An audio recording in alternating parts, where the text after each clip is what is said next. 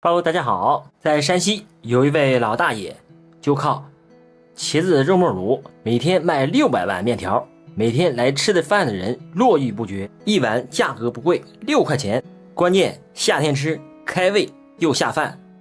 今天大厨就把大爷肉末茄子卤这个做法给大家揭秘一下，下面跟着视频一起来看一下吧。先准备三个清洗干净的长茄子，把茄子呢，我们给它切成。丁，茄子皮呢有很好的营养价值，不要去。切好的茄子丁放入到一个盆子中，然后里边我们加入食盐，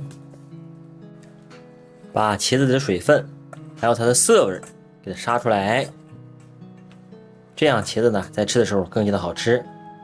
放到一旁腌制二十分钟。再准备些现成的猪肉馅放到一旁暂时备用。再准备些葱姜蒜，把它们切一切好的葱姜蒜放到一旁暂时备用。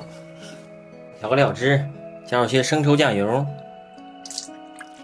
老抽、蚝油，一勺白糖，一勺郫县豆瓣酱，一勺淀粉。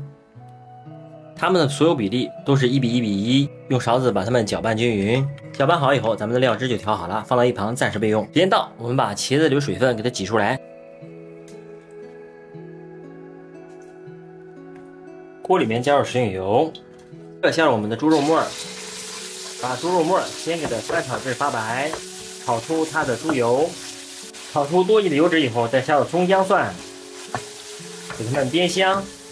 这时再加入我们的茄丁，把茄丁和我们的肉末翻炒在一起，让茄子吸收猪肉的油脂，给它翻炒个两到三分钟。茄子翻炒好以后，倒入我们的料汁，快速的把它们翻炒在一起，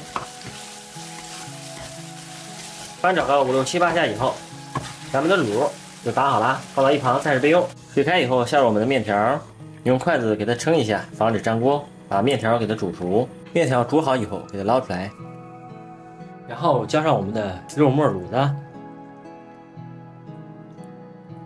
再来一些葱花点缀一下，这样我们超级下饭又开胃的肉末茄子卤就做好啦。今天好吃又美味的肉末茄子面就分享给大家了。如果你喜欢，赶紧收藏起来，在家试试吧。喜欢我的视频就关注我吧。我们下期视频再见。